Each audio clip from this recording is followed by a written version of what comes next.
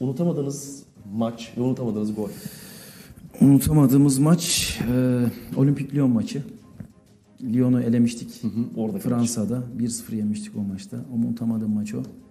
Unutamadığım gol de Fenerbahçe'ye attığım gol. Eskişehir Spor'da oynuyordum o zaman. İşte o Er- Ersun Hoca'nın gitme durumu vardı. Hı hı. O golü attım Ersun Hoca kaldı. Hatta başkan çağırdı bizi. Ben dedi bu saatten sonra istifa etmem dedi.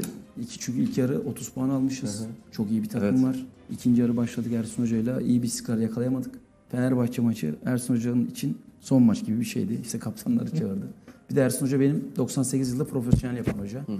Ben de yeri önemi çok Denizli'de, farklıydı. Denizli'de. Ee, dedim başkanım merak etme maç alırız biz Allah'ın izniyle dedim. O maçta bize nasip oldu. Gol attık. 2-1 o maçı kazandık. Ersun Hoca kalmıştı o maçtan sonra.